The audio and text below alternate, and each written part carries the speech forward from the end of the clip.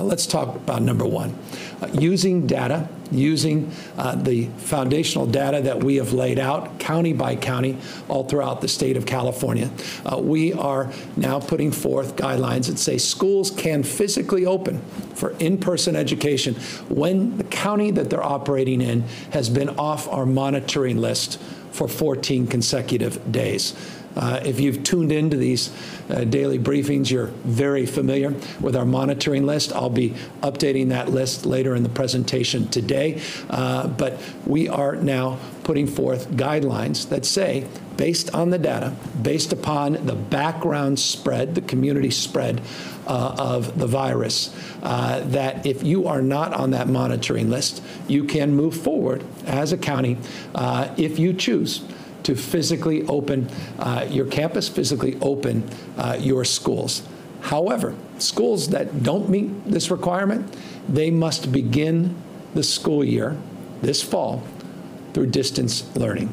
Number two, and I'm going to get to that in a moment. Number two, uh, we're putting forth a new mask requirement in the state. All school staff and students, all staff and students in third grade and above must wear masks. Students in the second grade or below, we strongly encourage uh, wearing masks and face shields. I have a very young uh, son, uh, Dutch, um, and caregivers, when he first see, saw masks, uh, he naturally recoiled. Uh, a lot of caregivers now have face shields, and he can see their expressions, their humanity, and that's why we put specifically guidance out as it relates to not just masks, but face shields as well. Our third frame of guidance that we're putting forth today is around physical distancing, and as I mentioned, other adaptations. So on the physical distancing side, uh, we believe that it's incumbent upon staff to maintain at least a six-foot distance between each other and a six-foot distance between themselves and the students. Uh, we believe that school day should start with symptom checks, meaning temperature checks. Uh, we have robust expectations around hand washing stations, uh, sanitation, deep sanitation, deep disinfection uh, efforts, uh, and that these schools have, along the lines of the adaptations, uh, have quarantine protocols. And we'll talk a little bit more in a moment about these continuity and attendance plans that each school site is now responsibly uh, responsible for putting forth.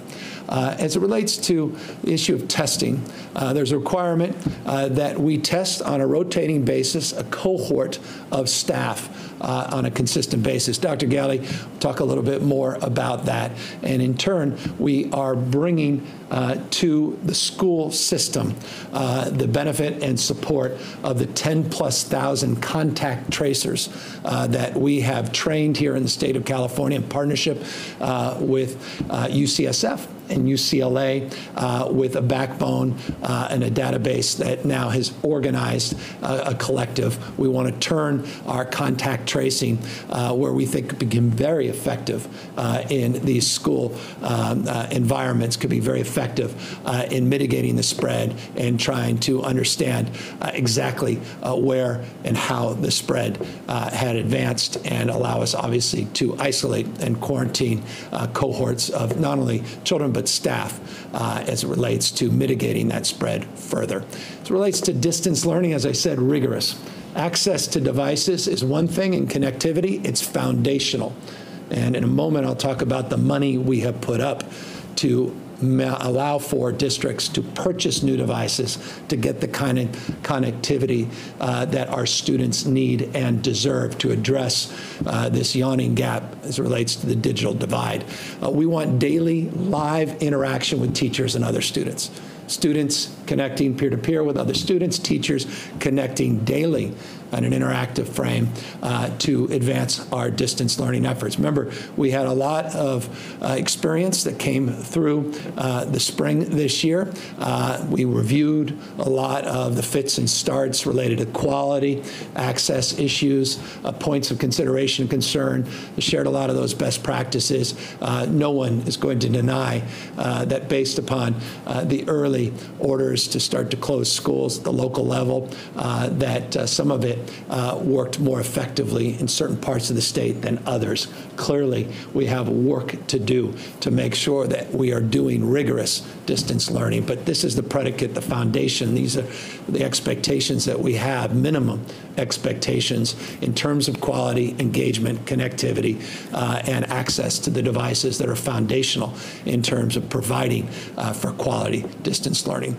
Uh, we also want to create a challenging environment where assignments are equivalent in terms of what you would otherwise get in an in-person class setting. I'm not naive, and again, we stipulate that second slide I showed that staff, that teachers, that parents prefer the socio-emotional learning of in-class education. That is a default, that's our bias. But under the circumstances with the spread of this virus, and I'll get to that spread in a moment as uh, an explanation again as to why at this moment we're putting out this recommendation uh, that we want to do our best to create some sense of equivalency uh, with the obvious uh, constraints uh, that is distance learning. We also want to make sure that we are always mindful of our students that are homeless, our students that are foster care uh, kids are in the system, kids with English as second language, and those with learning disabilities, uh, those that have special needs, uh, and the like.